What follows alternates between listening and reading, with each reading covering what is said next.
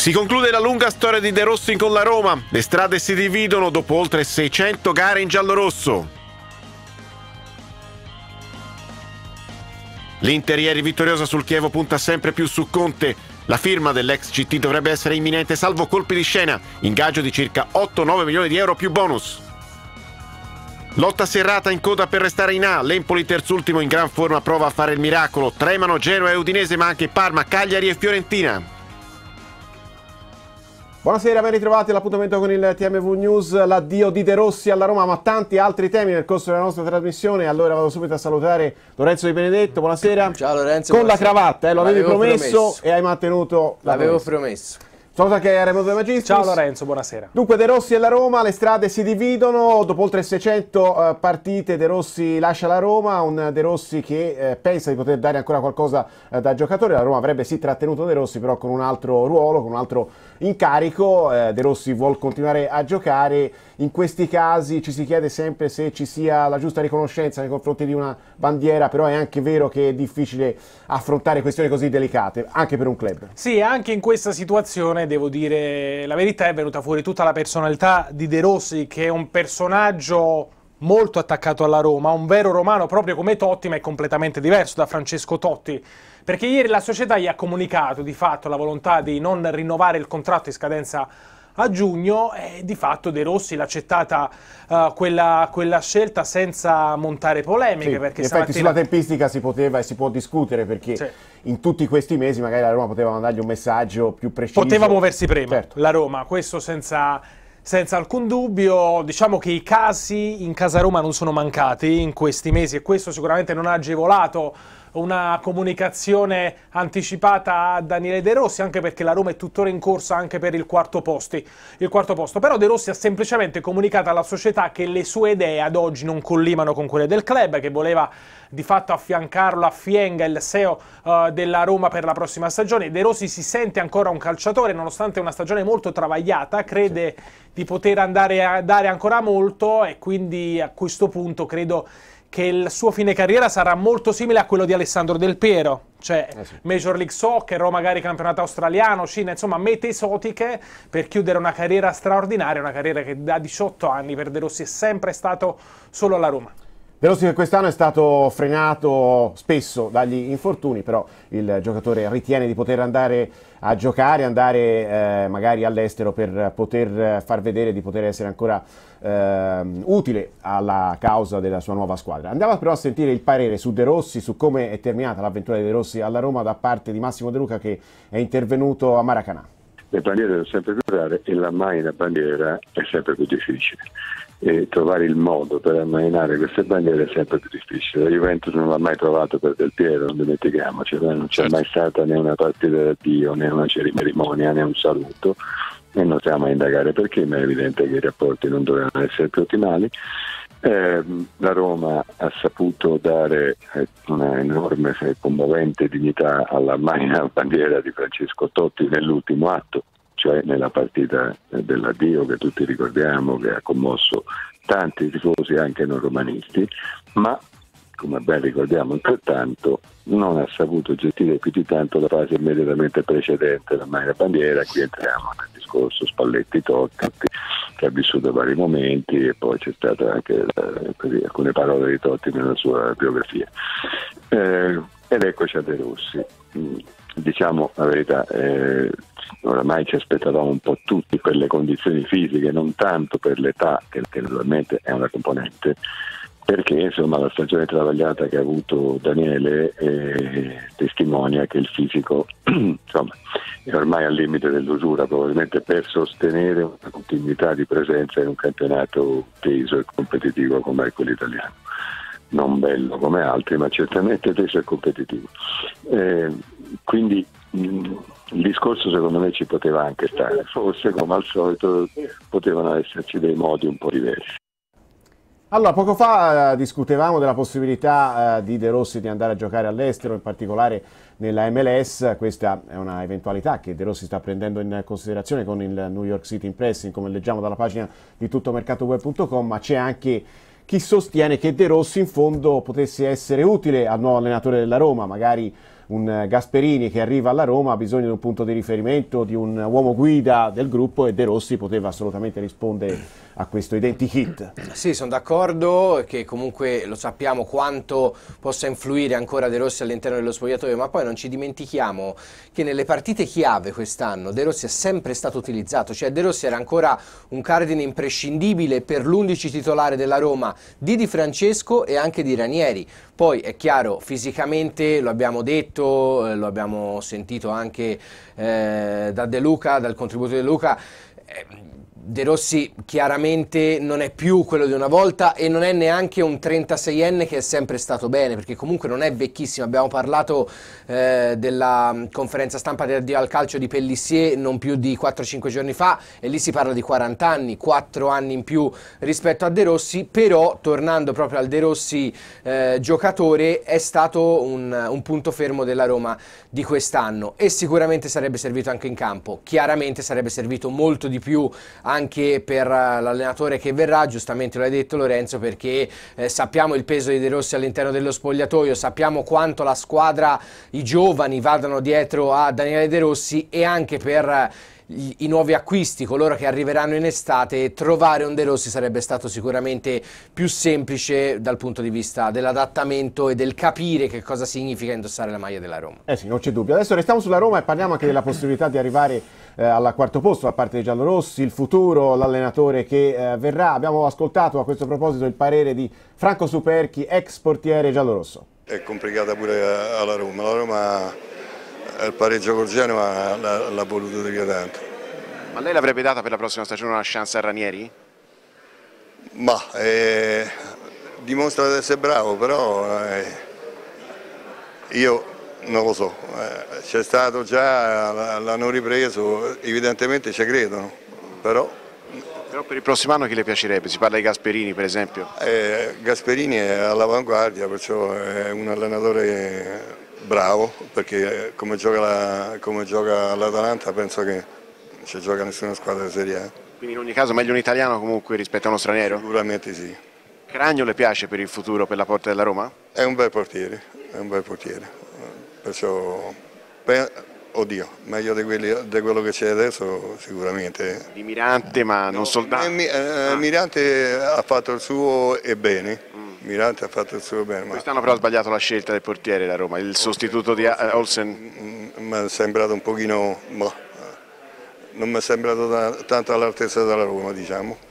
Eh sì, insomma, Olsen ha lasciato più di un dubbio, non a caso Ranieri, al momento del suo arrivo, ha cambiato il portiere e ha lanciato Mirante che ha fatto certamente meglio uh, di Olsen. Adesso parliamo dell'Inter che è tornata al terzo posto dopo la vittoria di ieri contro il Chievo, ma uh, tiene banco il caso allenatore perché sembra sempre più vicino uh, l'approdo di Conte per la prossima stagione, Conte che dovrebbe firmare, salvo colpi di scena, il contratto che eh, lo legherà ai nerazzurri, un contratto di 3 o 4 anni con un ingaggio di 8-9 milioni di euro più bonus, dunque un Conte che eh, in attesa di quello che eh, avverrà per quello che riguarda il contatto tra eh, Agnelli e eh, Allegri sembra aver scelto l'Inter. Sì, intanto domani ci sarà questo incontro certo. ufficiale in casa Juventus, Agnelli, Allegri e si capirà se Allegri sarà il prossimo allenatore della Juventus oppure no.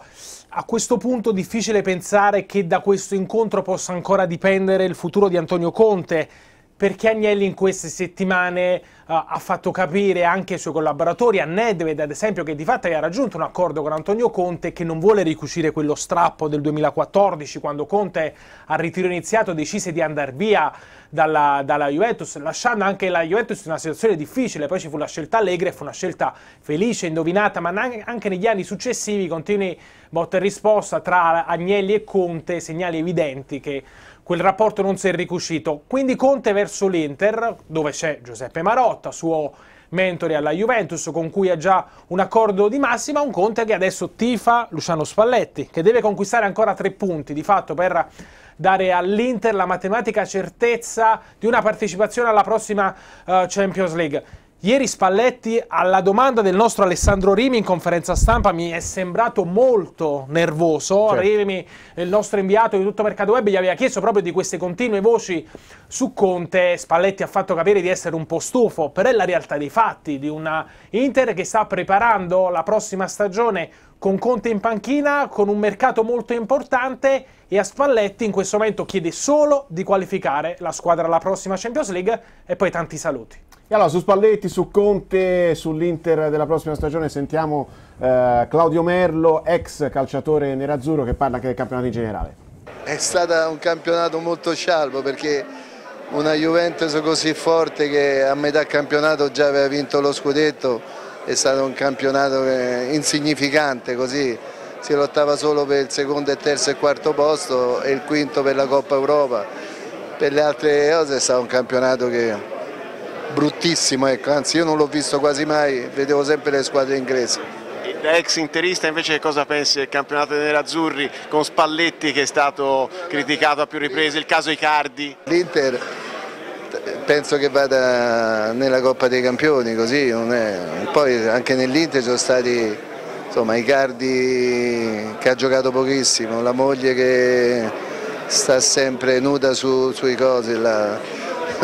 perciò hanno dei problemi fuori, però dentro penso che l'Inter ormai in Coppa dei Campioni ci possa andare. Ecco, ma Spalletti secondo te è giusto che venga sostituito con Conte perché sembra essere questa l'ipotesi più probabile?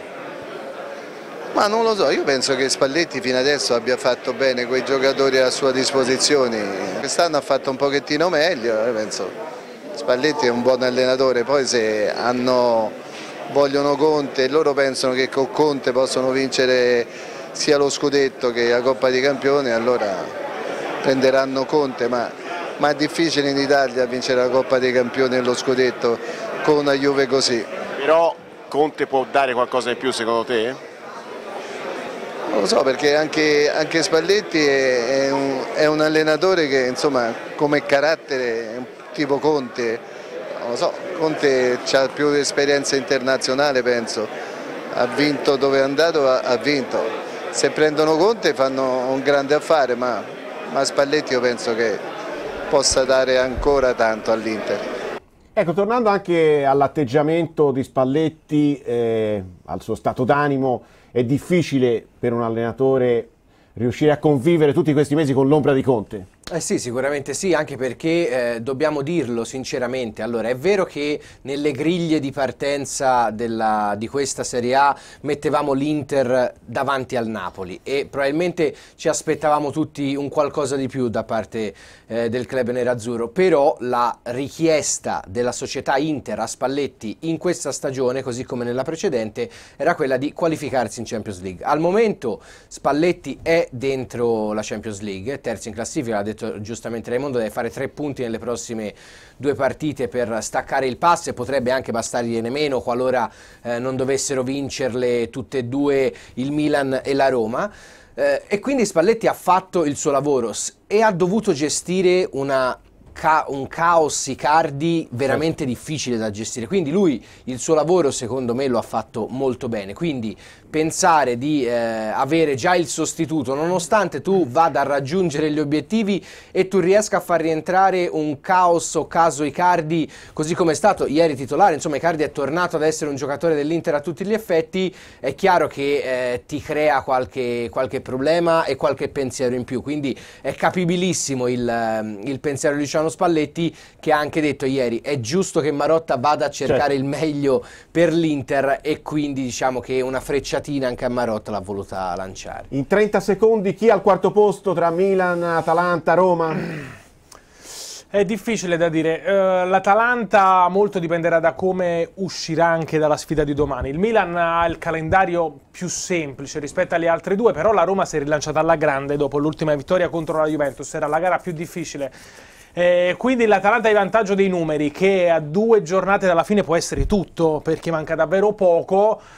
Però attenzione a come finirà la Coppa Italia, perché credo che inevitabilmente quella gara avrà degli strascichi anche sull'impegno certo. successivo, certo. che non sarà un impegno semplice a Torino contro la Juventus. Dalle prossime due gare, paradossalmente, passerà la stagione dell'Atalanta, che già è ottima, può diventare straordinaria, ma potrebbe anche tornare buona, eh sì, mettiamola così. Parliamo anche della lotta a salvezza perché l'Empoli in gran forma è terzultimo, però Paul vuole provare a vincere tutte le due eh, restanti partite, quelle contro il Torino e l'Inter, eh, e eh, dietro, comunque in coda, eh, iniziano a tremare il Parma, l'Udinese, ma soprattutto anche eh, la Fiorentina e il Cagliari che sono a 40 punti. Sì, è un Empoli che sta facendo tremare un po' tante squadre perché le ultime due vittorie consecutive eh, hanno rilanciato in tutti i sensi le, le, la stessa Empoli di Aurelio Andreazzoli. Hai detto i prossimi impegni dell'Empoli sono impegni difficili, sì. quindi è molto complicato per la squadra toscana riuscire serve a... Serve un piccolo miracolo. Serve veramente un miracolo perché comunque il Torino è in piena lotta per l'Europa, eh, l'Inter chissà come uscirà dalla gara contro il Napoli, potrebbe anche non aver più niente da chiedere l'Inter, però deve vincere prima contro il Napoli, qualora non vincesse l'Inter eh, è chiaro che sarà ancora più difficile per l'Empoli. Detto questo, eh, Genoa, Udinese, Parma, il Parma sembrava salvo eh, veramente tantissimi mesi fa e invece è stato risucchiato, per non parlare della Fiorentina che sta vivendo ancora non un dramma ma si potrebbe concretizzare veramente un dramma clamoroso per quel che riguarda la squadra di Vincenzo Montella che da quando è arrivato ha pareggiato col Bologna e poi le ha perse tutte. Quindi diciamo c'è una grossa bagarre, tutto dipenderà dall'Empoli ma se l'Empoli dovesse riuscire a vincere le prossime due partite, secondo me potrebbe esserci una vittima illustre. Eh sì, parliamo della crisi della Fiorentina, allora abbiamo sentito il parere di eh, Salvatore Esposito che tra l'altro è stato uno dei protagonisti eh, della vittoria del secondo scudetto viola. Ma fino a cinque partite fa no, io credo che il discorso Pioli abbia influito molto, che questa squadra era molto legata all'allenatore io ho visto la partita l'altra sera, mi sembrava una squadra impaurita, non ha nessun problema di, di classifica, però è una squadra impaurita. Quindi la retrocessione che è uno spettro di cui si sta parlando in queste ore lo allontani con forza? Ma non esiste, se guardiamo anche il calendario sarebbe, deve andare tutto al contrario di quello che pensa la Fiorentina, non credo. Però come si riparte in questa situazione? Il prossimo anno la Fiorentina eh, con quale spirito e soprattutto da che basi riparte?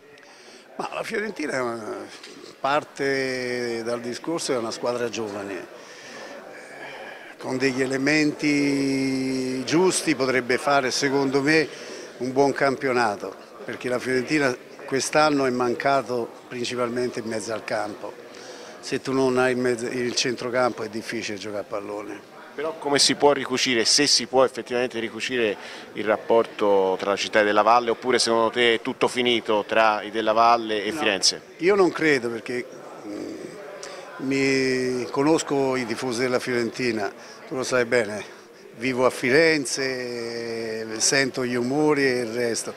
Basta poco che il tifoso è sempre vicino a questa squadra sì, però in questo momento eh, la critica è pesante. Negli eh? anni scorsi hanno contestato i cecchi Gori, hanno contestato sì. i Pontelli. Però probabilmente questa lettera di Diego della Valle potrebbe aver creato una divisione definitiva? Ma io mi auguro di no, spero e mi auguro di no. Raimondo De Magistris, in 20 secondi questa Fiorentina rischia quanto secondo te in percentuale? Poco, 10-15%, però credo che la sfida decisiva sarà Empoli-Torino perché è una gara molto difficile per la squadra di Andrea Azzoli, perché il Torino è una delle squadre più in forma, ma dovesse l'Empoli spuntarla e a quel punto la Fiorentina dovrà darsi una mossa in una sfida altrettanto difficile perché il Parma, dopo la sconfitta col Bologna, ha la necessità a sua volta di conquistare i punti. Allora, intanto ringrazio Raimondo De Magistris e anche Lorenzo Di Benedetto, però abbiamo parlato dei rischi che corre la Fiorentina, qualche rischio lo corre anche il Cagliari che ha gli stessi punti della Fiorentina e allora sui pericoli eh, per eh, la squadra di Maran abbiamo sentito il parere di Andrea Pisano, ex calciatore rossoblu e con le parole di Pisano noi ci salutiamo, io dunque vi ringrazio per averci seguito. Eh, con la vittoria del Napoli ieri a Genova si è un po' complicato tutto per tutte le squadre, non solo il Cagliari, dal Cagliari, Parma, Bologna, tutte quelle che stanno sotto. E, e anche la Fiorentina c'è sempre quell'1% imprevedibile dove un campionato è, può essere deciso all'ultima giornata. Sono tutte in ballo e saranno tre giornate veramente divertenti da vedere. Per quanto riguarda il Cagliari, che campionato è stato? Secondo te poteva fare qualcosa in più? È stato sfortunato per parlare delle ultime giornate, magari anche per come è andata a finire con il Napoli, con quel rigore molto discusso e discutibile? Sì, è stata una stagione per il Cagliari un po' alti e bassi, però comunque credo che sia in linea in quello che, quello che doveva essere il suo campionato. È, è normale che una squadra che si deve salvare passa dei momenti difficili dove magari per qualche mese eh, fai fatica a trovare la vittoria, però eh, alla fine l'obiettivo era quello di tenere la categoria e ci sta lottando. Maran è l'uomo giusto anche per eh, andare avanti con questo Cagliari, è stato prolungato a lui il contratto? Sì, ho letto, ho sentito che anche un, un allenatore molto preparato, lui ha anche esperienza, ha già fatto esperienze in squadre che stiano a salvare. E vedremo, vedremo soprattutto cosa succederà l'anno prossimo con il calciomercato, il Cagliari ha alcuni giocatori che sono molto appetibili, da Barella, eh, Pavoletti, quindi eh, non è facile per un allenatore ogni anno ripartire con nuovi giocatori, vedremo, vedremo cosa fa il Cagliari.